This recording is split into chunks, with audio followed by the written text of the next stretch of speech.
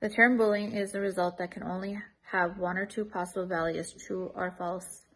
The Boolean logic takes two statements or expressions and applies it to a logic operator to generate a Boolean value that can be true or false.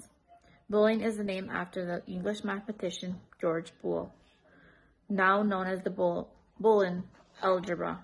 The value of true is 1 and the importance of false is 0.